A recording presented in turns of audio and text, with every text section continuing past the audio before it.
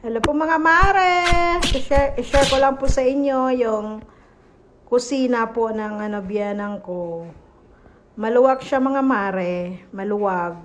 May mga bulaklak bulaklakin pa siya, may mga pananim pa siya kasi ang ganda ng ano kusina niya kasi ano talaga sa sikat ng araw. Ayan ang gaganda ng mga orchids niya guys, oh. Ganda mo. Ayan ang kanyang mga cabinet. Ang daming mga anuhan yan guys kasi ano ang ano niya, ang dami niyang cabinet. O tingnan mo yan pati sa kabila pa yan, o di ba? Ang dami nalagyan. Kaya ano anda kaya ano, yung mga gamit niya talagang ano. Tapos ayan. Yan mga lagyan ng abubot niya. Ayan guys. Siguro yung kusina ko ano, Maluwag talaga siya guys.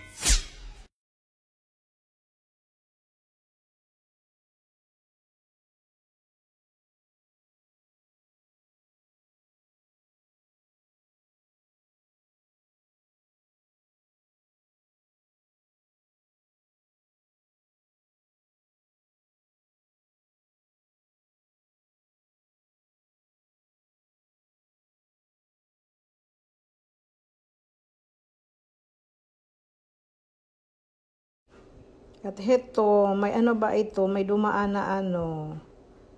Yung ghost na itim ang buhok. Ay, Diyos ko.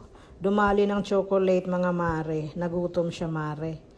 Ayun, oh. Mahaba na pala talaga buhok niya, mga mare.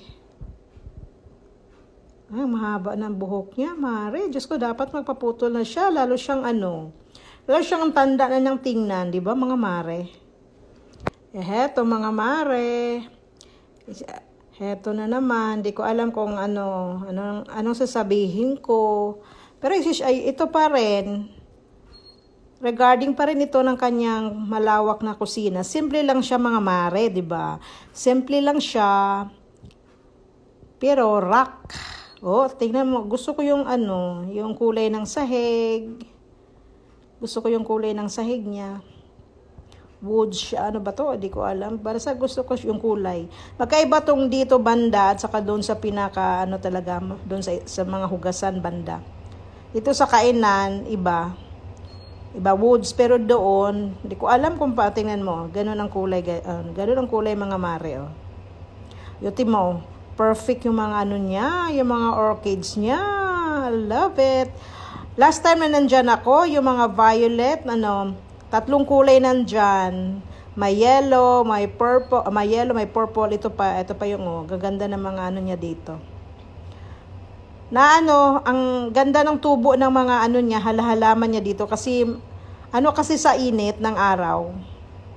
So ayan oh, ma, ano talaga yung anong tawag doon? Ano talaga sa init ng araw. Tamang-tama yung talagang pwesto ng mga bulaklak doon. Kaya maganda. Yung mga bulaklak sa kusina niya, 'di ba? Super. Yan ano, gusto ko din yung mga ano niya, cabinet niya, yung kulay ba. Ganda ng pagkaano. Yung yung texture ng ano woods, parang gusto ko kasi ano smooth na. Basta gusto gusto ko siya.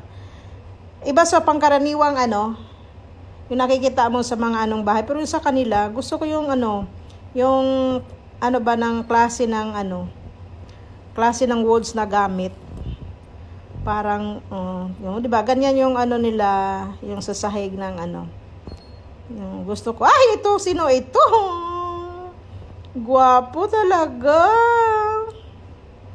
Biglang bumulagta ang gwapo kong asawa 'di ba?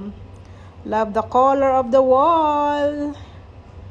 Ayan lang po mga mare si-share ko lang siya.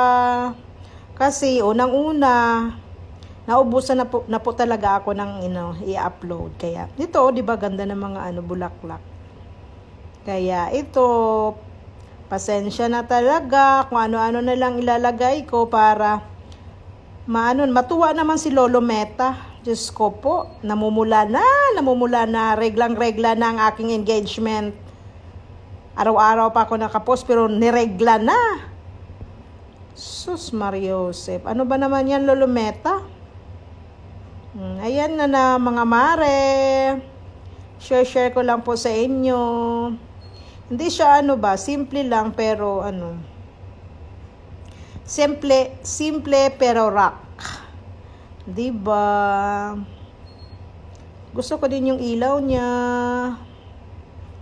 Basta, o kahit nag-iisa na lang siya, na, nami-maintain pa rin niya yung bahay niyang maano, malinis. O, di ba? O, ito